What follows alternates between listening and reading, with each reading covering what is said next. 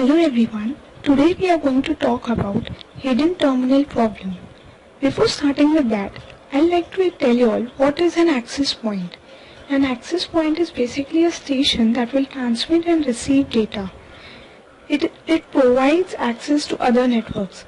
What we see at our home is a router or modem. That is an access point. It is connected through a wire technology and provides us data or connection using wireless technology. This is the work of an access point. It connects users within the network. Now we'll discuss about hidden terminal problem. Hidden terminal problem. As we can see, there are three access points A, B and C. The transmission range of A reaches only till B. Similarly, transmission range of C reaches till B and transmission range of B reaches both A and C. So initially A wants to send some data to access point B and it will sense the channel, the medium and find it free. So it will start sending data to B. Simultaneously, access point C also wants to send some data to uh, access point B. So it will sense the channel and find it free as it is outside A's detection range. So even C will start sending data to B. This will result in a colli in collision at access point B.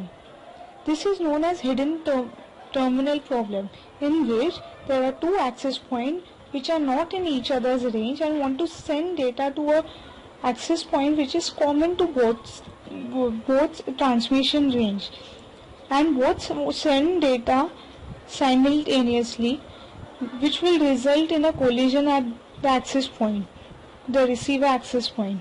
In this, access point A is hidden for access point C and vice versa. It leads to more collisions and wastage of resources. Now, what is the solution of hidden terminal problem?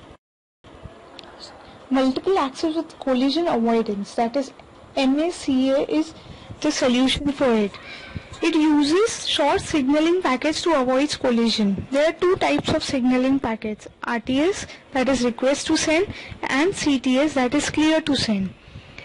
What happens in that uh, RTS is sent from sender to receiver when it has some data to send and CTS is sent from receiver to sender when uh, it is ready to receive packets.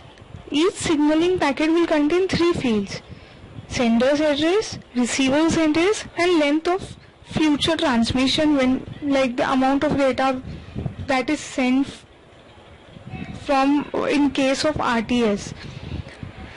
So basically what happens in hidden terminal problem is when A wants to send data to B, it will send a RTS, RTS packet to B and since B is currently free, it will send CTS packet to A. But this CTS packet will reach both A and C simultaneously.